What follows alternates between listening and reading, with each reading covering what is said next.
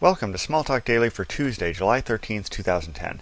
Yesterday I went through extending the behavior of an existing class and we just added this method cubed to arithmetic value, but we did it within the package that arithmetic value lives in when VisualWorks is shipped to you, or ObjectStudio for that matter.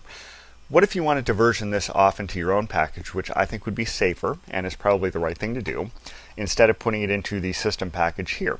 Because it'll allow you to trace things more easily. And when new versions of the product come out, you'll have an easier time finding the extensions you've made to the system and seeing if anything that we changed back here at Cincom will affect what you've done with your extension. So I'll bring up a new browser just for simplicity and I will add a new package. New package, and I'll call it arithmetic extensions. And now what I'll do is I'll go over here to this method and I'll bring up the right menu and I'll say move let me move this over so you can see what I'm doing. So I'm going to say move to package. And I'm going to call this arithmetic extensions right there. It's right at the top, so I'll select it. And having done that, I'll move this back into the view. Now it looks like it's still here, but if I click off and click on, you'll find that it's not there anymore. I'll go to arithmetic value. I'll try to find cubed, and you can see that I scroll past it's not there.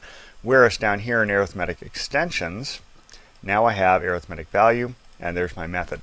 So I've got it in my own package and at this point I could collect to my local repository, version this code off, now it would be versioned in my package. And again, when Cincom shipped a new version of the product, I'd be able to compare what I've done with what the system has done, and it'd be a little easier for me to track what changes are still necessary and what changes maybe I need to discard.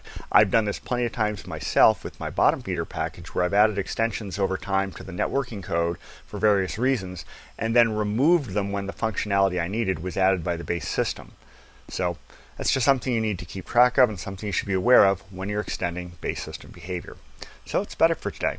Until next time, have fun with Smalltalk.